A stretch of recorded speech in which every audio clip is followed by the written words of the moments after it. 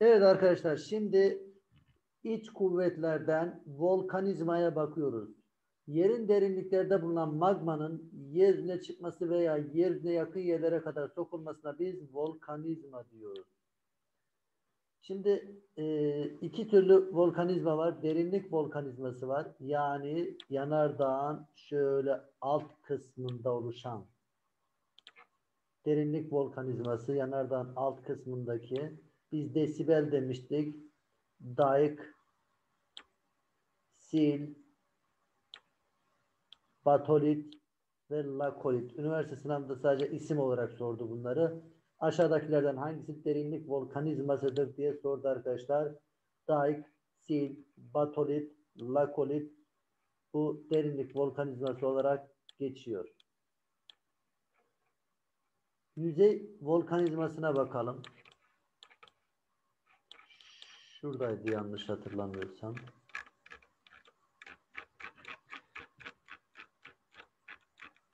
Arkadaşlar şimdi şuradan ben bir kısaca anlatayım volkanizmayı. Şimdi volkanizmanın şu ağız kısmına ağız kısmına arkadaşlar krater deniyor. Yanardağ bir tane daha patladığı zaman şu ağız kısmı daha da ayrılır ise buna da kaldera deniliyor. Şu yarım ay şeklinde bakın. Yarım ay şeklinde buna kaldera deniliyor. Şuradan lavlar geliyor. Çıkıyor şurasına volkan bacası deniyor. Şu yeşil çizdiğim yere volkan bacası deniliyor. Volkan bacası. Şimdi dünyamız gaz ve toz bulutlarından oluşmuştur. Şimdi bak tozunu anladık da bakın. Tozunu anladık. Bir de demek ki dünyanın gazı var. İşte dünyanın şöyle yanlardan, bu yanardan, yanlardan şöyle gaz kaçırmasına biz mağar diyoruz arkadaşlar. Mağar. Mağar suyla dolarsa mağar gölü olur. Krater suyla dolarsa krater gölü olur. Kaldera suyla dolarsa kaldera gölü olur arkadaşlar. Şimdi şöyle gaz ve toz bulutları geliyor. Bu kül bulutu tüm dünyada etkili oluyor. Hatta İzlanda'da bir yanardağ patlıyor. Elyaf, Yalla, Yökül diye bu yanardağ. Türkiye'de de uçak seferleri duruyor. Bir rivayete göre de arkadaşlar bir yerde yanardağ patlıyor. 7 yıl orası güneş görmüyor arkadaşlar. 7 yıl. Düşünsenize 7 yıl orası güneş görmüyor ve güneş görmediği için karanlık gündüzler oluşuyor ve birçok kişi zehirlenerek ölüyor arkadaşlar. Bir de oraya not olarak yazın. Şöyle. Küresel ısınmaya neden olan doğal olaydır. Arkadaşlar küresel ısınmaya neden olan doğal olaydır diyoruz. Çünkü küresel ısınmaya bakın arkadaşlar şuradaki toz bulutu ne yapıyor? Küresel ısınmaya neden oluyor arkadaşlar. Bir daha söylüyorum küresel ısınmaya neden olan doğal olay. Şimdi yanardağ patladı. Şöyle şu alanda dondu. Lavlar. Sonra yanardağ bir daha patladı. Bir daha patlarsa şuradaki lavları alıyor arkadaşlar. Fırlatıyor. Şuradaki lavlar alıp ne yapıyor? Taş şeklinde fırlatıyor. Şöyle. Sert tabak oldu ya artık. Bunu ne yapıyor? Sert şekilde alıp fırlatıyor. İşte buna da volkan bombası deniliyor arkadaşlar. Volkan bombasını bir daha anlatıyorum. Volkan patladı. Şu bacağın olduğu yerde lavlar dondu. Sonra volkan bir daha patlayınca bu taş kütlesi halindeki bu materyalleri atıyor. İşte buna da volkan bombası deniyor arkadaşlar. Buradaki e, toz bulutları düşün. Erciyes'te yanardağ patlıyor. Buradaki toz bulutları Nevşehir'e kadar gidiyor ve peri bacalarının oluşmasında etkili. Buraya kadar söylediğimin hepsi yüzey volkanizmasıydı. Bir de derinlik volkanizması var. Yani bu volkanın alt kısmında. Şöyle desibel diye şifreledik arkadaşlar. Dayk, sil, batolit, lakolit. Dayk şu, sil şu. Batolit şurası. Bir de lakolit var arkadaşlar. Bu da burada. Bunlar da derinlik volkanizması olarak geçiyor arkadaşlar. Evet. Şimdi biz şuralar silelim. Kaldığımız yerden devam edelim. Derinlik volkanizması dedik. Yüzey volkanizmasına krateri, kalderayı anlattık arkadaşlar. Bunlarla ilgili örnekler vermiş. İşte Nemrut Gölü değil mi arkadaşlar? Volkanik alanlarda gazların bak gaz basıncıyla ne oluşuyordu arkadaşlar? Mağar. Mesela Meke Tuzlası Konya'daki işte Gölcük Gölü Isparta'daki bunlar arkadaşlar bir mağar gölüdür. Evet üniversite sınavından ne tarz sormuş? Yalnızca bu bilgileri göz önüne alındığında Minoan püskürmesiyle ilgili aşağıdakilerden hangisi kesin olarak söylenebilir diyor. Ege Denizi'nin güneyinde yer alan Santorini adasını oluşturan volkanda milattan önce 1650-1600 yılları arasında meydana gelen Minoan püskürmesi adayı büyük bir değişikliğe uğratmış. Volkanik patlamada çıkan materyal kilometrelerce yüksekliğe kadar erişmiş ve patlama öncesinde tipik bir koni görünümünde olan volkan üst kısmının çökmesi içinin deniz sularıyla dolma sonucu yarım ay. Bakın arkadaşlar burası zaten soruyu çözdüren alan yarım ay. Dedik ki ilk kraterdi. Sonra yarım ay şeklinde daha da ayrılınca biz buna kaldera diyorduk. Şeklini almıştır. Yalnızca bilgiler göz önüne alındığında minyon püskürmesiyle ilgili hangisi kesin olarak söylenebilir? Zaten direkt çıkıyor değil mi arkadaşlar? Bir kaldera oluşturdu. Yarım ay şeklinde.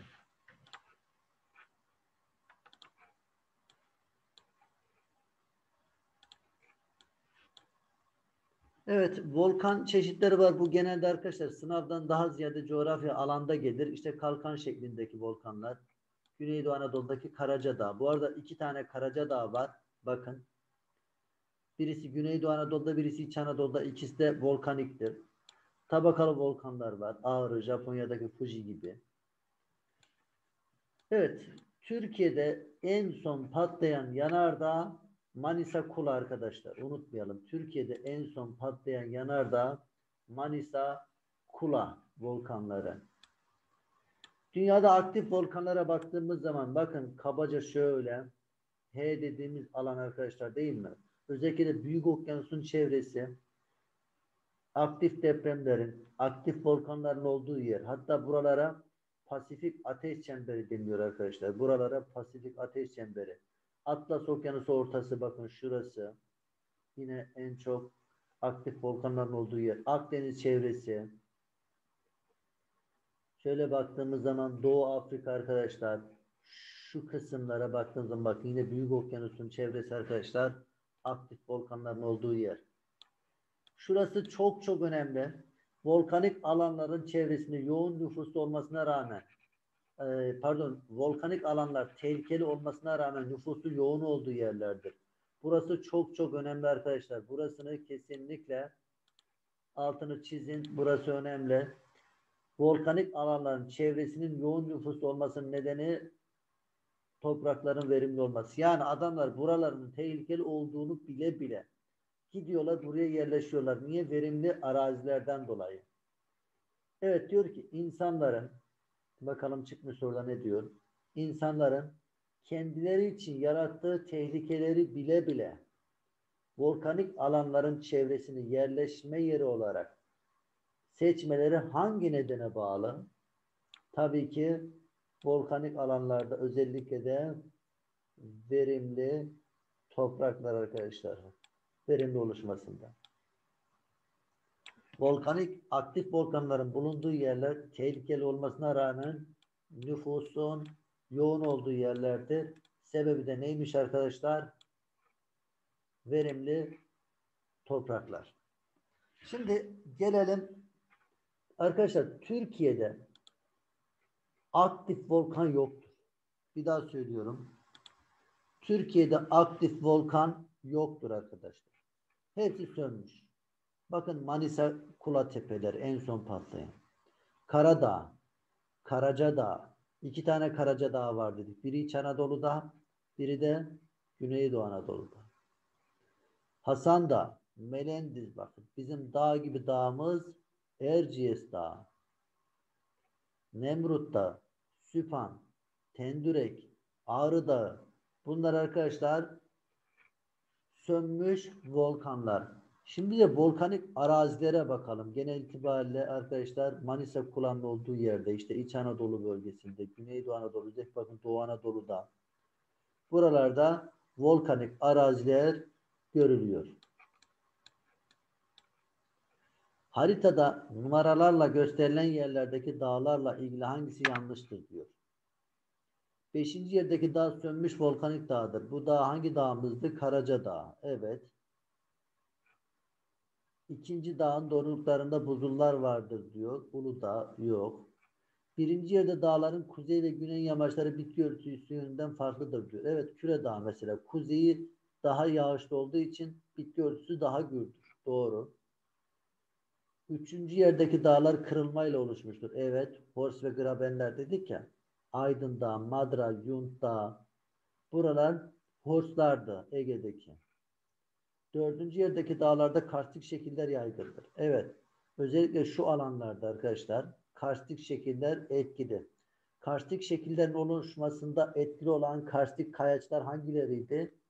Kalker, yani kireç taşı, jips, alçı taşı ve kaya tuzu bunlar etkiliydi. Evet, doğru cevap Bursa arkadaşlar. Evet, genel itibariyle şöyle e, volkanlardan bahsetmiştik arkadaşlar. İşte kül bulutu ne yapıyor arkadaşlar? Küresel ısınmaya neden olan doğal olaydı.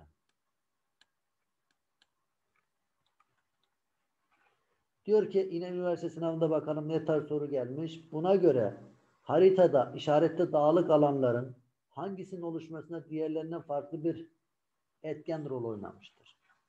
Şimdi biliyorsunuz arkadaşlar Türkiye'de dağlar kıyıya paralel. Yani şu şekilde dağlar kıyıya paralel.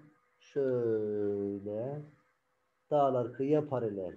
O zaman bu gösterilen alanlarda yani işte 1'de, 2'de, 3'de, 5'te dağlar kıyıya paralel. Bu da bir volkanik dağdır arkadaşlar. Bunu sormuş. Oluşum nedeni farklı olan hangisi? 4 numaradaki volkanik dağ arkadaşlar. Erciyes Dağı. Evet. Şimdi iç kuvvetlerden diğer bir arkadaşlar depreme bakıyoruz. Depremin diğer bir ismi şöyle yazalım. Seizma. Evet, deprem yer kabuğunda meydana gelen kırılmalar sonucu oluşan sarsıntıların titreşimler halinde çevreye yayılması. Üç türlü deprem var. Volkanik deprem. Şimdi volkanik deprem dediğimiz olay şu. Volkanik bir alan patlama oldu. Patlama olduğu zaman ne yapıyor? Burada bir sarsıntı oluşacak. İşte oluşan bu sarsıntıya biz volkanik deprem diyoruz. Şimdi gelelim çöküntü depremlerine. Çöküntü depremleri de arkadaşlar özellikle de karstik arazilerde yoğundur. Şöyle düşünün. Şurası normal bir arazi. Bunun alt kısmı alt kısmında arkadaşlar kireç var. Kireç eridi. Ne yapıyor? Şu alan direkt üste çöküyor. Şöyle bir alan oluşuyor. İşte biz buna çöküntü depremleri diyoruz. İşte Çankırı'da, Sivas'ta jips olduğu için Çankırı'da arkadaşlar özellikle de e, kaya tuzu olduğu için buralarda ne yapıyor? Çöküntü depremleri. Çöküntü depremleri görülür. Özellikle de çöküntü depremleri Akdeniz'de görülür. Evet. Tektonik depremler. Etki alanı en geniş olan. İşte biz buna da arkadaşlar tektonik hareketler bunlar diyoruz. Yeryüzünde görülen depremlerin tamamına yakını bu gruba girer. Dedik ki hatırlarsanız Türkiye'nin şekillenmesinde en büyük etkiye sahip iç kuvvet depremdi arkadaşlar. Deprem. İşte fay hatlarına bakalım. Bunlar yine sizlerde gelmez. Normal fay, ters fay, doğrultu atılımlı fay. Bunlar arkadaşlar size gelmez. Şimdi depremin merkezine bakalım. Arkadaşlar depremin merkezini şu şekilde düşünün. Bir e, suya taş attığımız zaman ne yapıyor? Dalga dalga gidiyor. Şurası depremin merkezi. Ne yapacak? Dalga dalga ilerleyecek. Depremin merkezinde yıkım, şiddet daha fazladır. İşte depremin iç merkezinde hiposant, dış kısmına ise episant deniyor arkadaşlar. Yeryüzünde depremin en çok hissedildiği yer dış merkezdir. Ben dedim ki hatırlarsanız iç kuvvetler yapıcı mıdır, yıkıcı mıdır diye iç kuvvetler yapıcıdır arkadaşlar.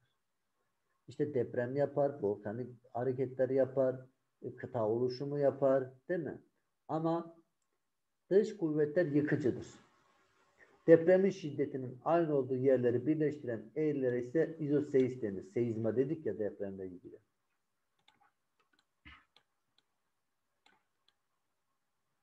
Evet.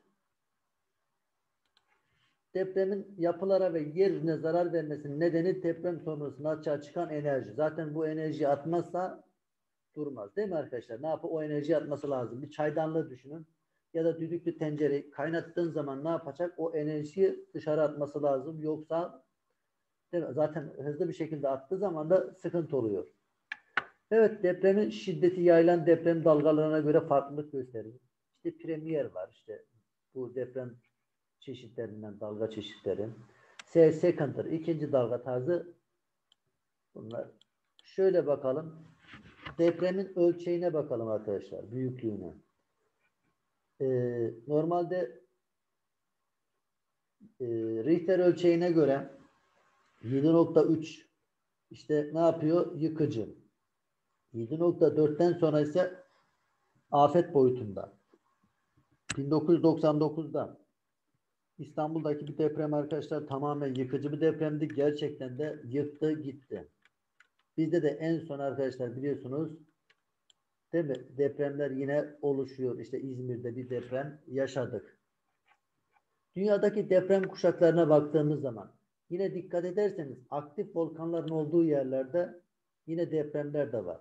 Siyal demiştik hatırlarsanız. Silisyum alüminyum.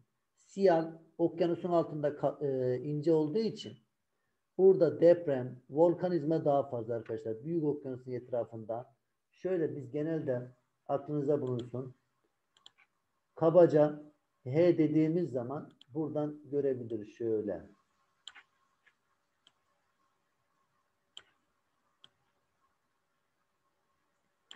Depreme böyle kabaca H diyoruz arkadaşlar. Deprem var mı? He he. Var değil mi? Pasifik deprem kuşağı yani Büyük Okyanus'un Akdeniz deprem kuşağı ve Atlas Okyanus'un orta kısmında yani şurası bakın özellikle de burada depremler görülüyor. Evet şöyle kabaca H'yi buraya da getirmiş olduk bir nevi. Şu deprem. Şu harita üniversite sınavında çıktı. Ne haritasıdır diye. Arkadaşlar Türkiye'de 3 tane fay hattı var. Şöyle kaf, daf, bir de şu alanda baf var arkadaşlar. Türkiye'de kaç tane fay hattı varmış? Kaf, baf ve daf arkadaşlar. Şimdi Kuzey Anadolu fay hattına bakalım. Şurası Kaf. Şurası Hatay'dan başlıyor. Kahramanmaraş'ın olduğu yerden ta Van'a kadar geliyor. Doğa, Daf, Doğu Anadolu fay hattı. Şu Güney Marmara'nın olduğu yerden de şurada da Baf var arkadaşlar. Kaf, Baf, Daf. Kuzey Anadolu deprem kuşağı yani Kaf Saros Körfezi'nden başlıyor. Marmara Denizi, işte İzmit, Adapazarı, Düzce, Merzifon, Erzincan'dan, Muş'tan ta Van'a geliyor. Batı Anadolu deprem kuşağı kıyı Ege göller yöresi bu alanda. Doğu Anadolu ise arkadaşlar Hatay'dan başlıyor. Kahramanmaraş, Adıyaman, Malatya, Elazığ, Bingöl'den, Muş'tan ta Van'a geliyor. O zaman Kafınan, DAF nerede birleşiyor? Van'da. Van önemli derecede bir deprem alanıdır arkadaşlar. Bunu unutmayalım. Van önemli derecede bir deprem alanı.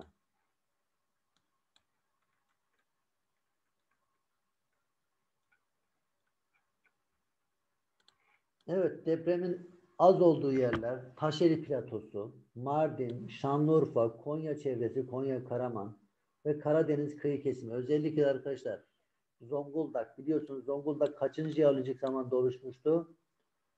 Zonguldak üçüncü jeo, e, pardon birinci jeolojik zamanda oluştu. İşte birinci jeolojik zamanda oluştuğu için genç barazdır. Genç olduğu için dengesizdir. Denge profiline ulaşmamıştır. Diyor ki Türkiye'de sıcak su kaynakları bakımından zengindir diyen bakın sıcak su kaynaklara bakımından zengindir diyen bir araştırmacı yukarıdakilerden hangisine dayanak olarak bu yargıya ulaşmıştır? Dedi ki bir yerde hatırlarsanız fay varsa deprem var. Deprem varsa sıcak su var. Sıcak su varsa kaplıca var. Kaplıca varsa babaanne turizmi var demiştik. Değil mi arkadaşlar? Fay ebesine demiştik. Diyor ki sıcak su kaynakları bakımından zengindir diyen bir araştırmacı yukarıdakilerden hangisinin dayanak olarak bu yargıya ulaşmış olabilir? Anadolu'da aktif deprem. Zaten deprem varsa kesinlikle kırıklı yapı vardır. Anadolu'da volkanik alanlarda fay hatları bak fay canına. Anadolu'da çok sayıda göl vardır. Olsun bana ne? Anadolu'da yer şekilleri çok engebelidir. Bu neyle ilgili? orojenezle ilgili arkadaşlar. O zaman beni burada ilgilendiren 1 ve 2.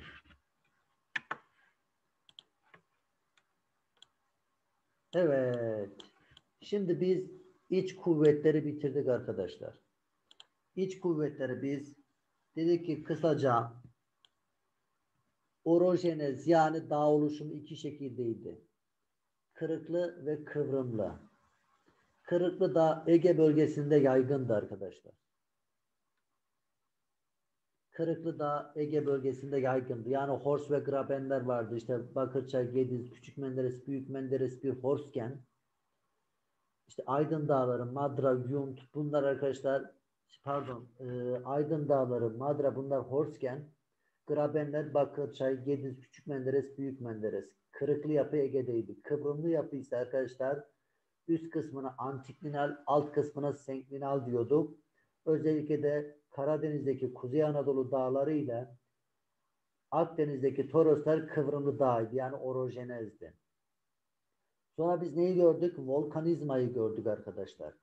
Volkanizmaya baktığımız zaman özellikle de aktif volkanların bulunduğu yerler işte İzlanda, Japonya, İtalya buralar aktif volkanların bulunduğu yerler yine de tehlikeli olmasına rağmen nüfusun yoğun olduğu yerlerdi.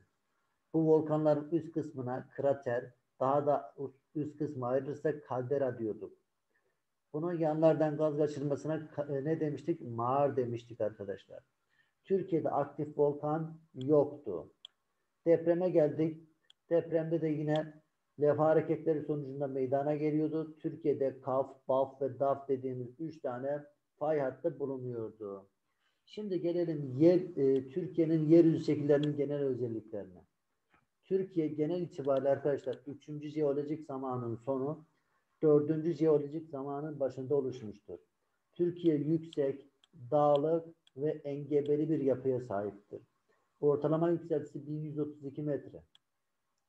İşte Türkiye'nin bu şekilde dağlık, engebeli bir araziye sahip olmasının sebebi arkadaşlar şudur. Türkiye üçüncü jeolojik zamanın sonu dördüncü jeolojik zamanın başında oluşmuştur. Genç barazidir. Türkiye dağlar genelde doğu batı doğuda uzanır. Alp Himalaya dağ kıvrımı sistemi içerisinde yer alıyor Türkiye.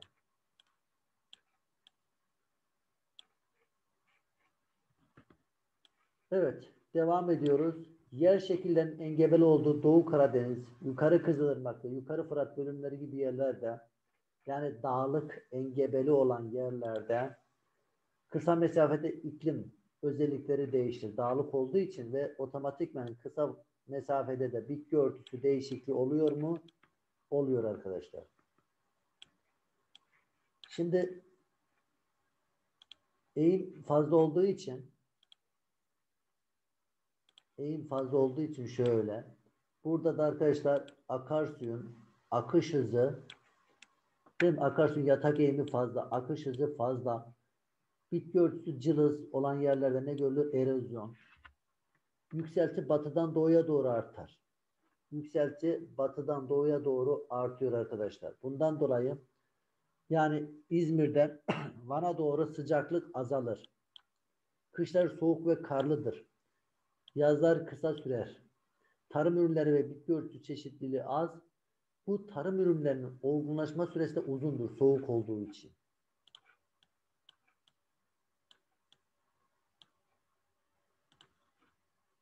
Evet.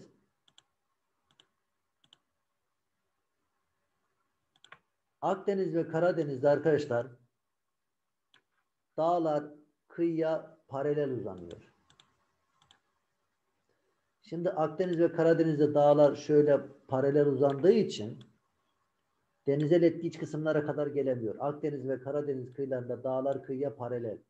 Denizel etki daha dar. İç kesimlerde karasallık şiddeti daha fazladır. Kıyı ile iç kesimler arasında ulaşım zor. Koy, körfez, doğal liman az. Ve kıyılarda falez oluşumu, diğer isim yalı yer oluşumu daha fazladır.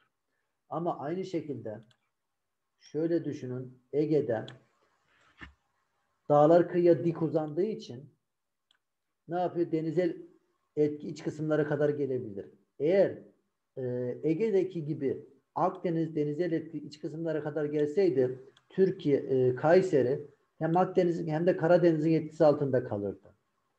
Kıyı ile iç kesimler arasında ulaşım zor. E, pardon kolay. Burada zor. Geçitlerle sağlanıyor. Akdeniz ve Karadeniz'de. Koy Körfez liman sayısı fazladır Ege'de. Ege'de dağlar kıyıya dik. Akdeniz ve Karadeniz'de dağlar kıyıya paraleldir.